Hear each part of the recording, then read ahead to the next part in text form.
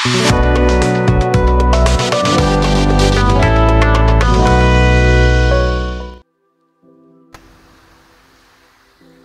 selamat pagi, shalom Bapak Ibu Saudara-saudara sekalian.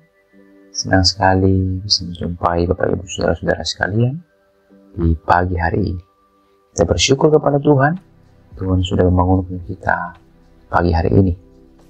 Kita akan melandasi hidup kita dengan membaca dan mendengar firman Tuhan berdasarkan renungan harian Toraya Rehat edisi 13 April 2022.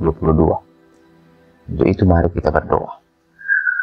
Bapa dalam surga terima kasih berkatmu senantiasa kami rasakan dalam hidup kami.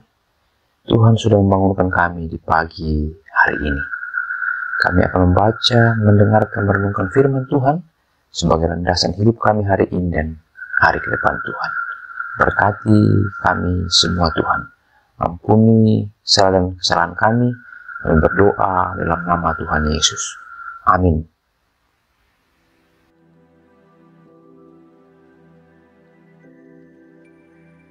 Jemaat Tuhan, pembacaan kita dari Ibrani pasal 2 ayat 10 sampai ayat yang ke-18. Ibrani pasal 2 ayat 10 sampai ayat yang ke-18.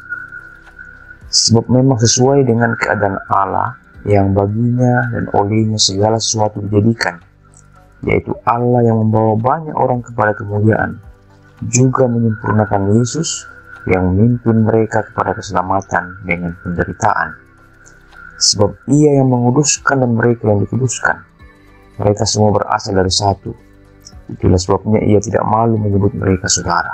Katanya, Aku akan memberitakan namamu kepada saudara-saudaraku dan memuji-muji engkau di tengah-tengah jemaat. Dan lagi, aku akan menaruh kepercayaan kepadanya. Dan lagi, Sungguhnya inilah aku dan anak-anak yang telah diberikan Allah kepada aku. Karena anak-anak itu adalah anak-anak dari darah dan daging, maka ia juga menjadi sama dengan mereka dan mendapat bagian dalam keadaan mereka, supaya oleh kematiannya ia memusnahkan dia, yaitu iblis yang berkuasa atas maut. Dan supaya dengan jalan demikian, ia membebaskan mereka yang seumur hidupnya berada dalam perhambaan oleh karena takutnya kepada maut. Sebab sesungguhnya bukan malaikat-malaikat yang ia kasihani, tapi keturunan Abraham yang ia kasihani. Itulah sebabnya maka dalam segala hal ia harus disamakan dengan saudara-saudaranya, supaya ia menjadi imam besar yang menaruh belas kasihan dan yang setia kepada Allah untuk mendamaikan dosa seluruh bangsa. Sebab oleh karena ia sendiri telah menderita karena pencobaan, maka ia dapat menolong mereka yang dicobai. Demikian firman Tuhan. Amin.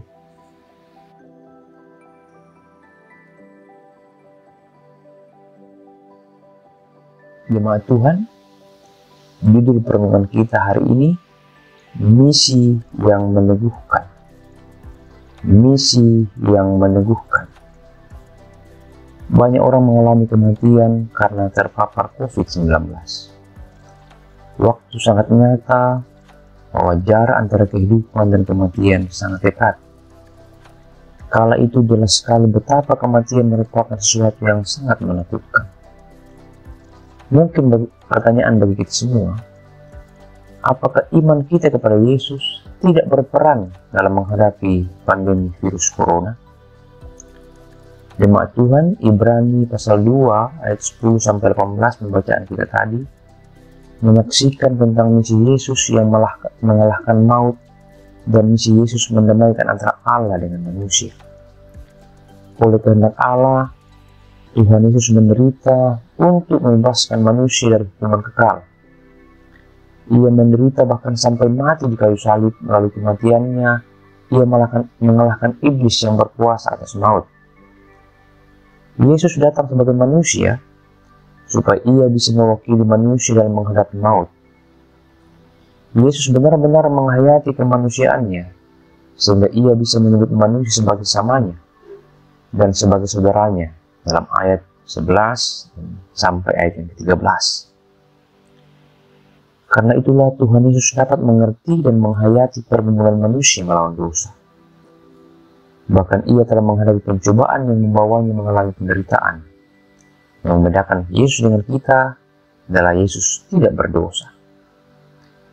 Dengan demikian, misi Tuhan Yesus untuk mengalahkan maut dan misi pendamaian antara Allah dengan manusia telah tercapai. Dalam Tuhan Yesus, setiap orang percaya tidak lagi menghadapi maut kekal. Orang Kristen tidak perlu lagi takut menghadapi kematian termasuk kematian karena corona. Sebab Tuhan Yesus sudah memperdamaikan, memperdamaikan kita dengan Allah. Bahkan ada jaminan bagi kita untuk berani menghampiri Allah dalam Tuhan Yesus untuk menyampaikan pergumulan kita karena dia mengerti dan peduli dengan keberadaan kita. Dia mengerti dan peduli dengan keberadaan kita. Amin. Firman Tuhan. Dengan Tuhan mari kita berdoa. Bapa dalam surga, firmanmu hari ini menguatkan kami. Firmanmu mengajarkan kami bahwa Tuhan Yesus sudah menebus dosa-dosa kami. Dosa yang tidak mungkin kami lawan, dosa yang tidak mungkin kami tebus sendiri dengan kemampuan kami. Dan penebusan itu Tuhan membuat kami boleh terhindar dari kematian kekal. Semoga firman ini menguatkan iman percaya kami kepada Tuhan. Bapa dalam surga, kami akan memulai kegiatan kami hari ini. Pimpin kami Tuhan. Jadilah pimpinan dalam hidup kami. Semoga kami boleh menjadi terang di mana Tuhan tempatkan kami masing-masing. Kami membawa pergumulan jemaat Tuhan, pergumulan kami semua hari ini dan seterusnya Tuhan. Engkau berkati kami dalam pekerjaan kami, Engkau berkati kami dalam keluarga kami, Engkau berkati kami dalam pelayanan kami. Pelayanan kami hari ini dan besok dan minggu ini Tuhan, Engkau berkati kami semua.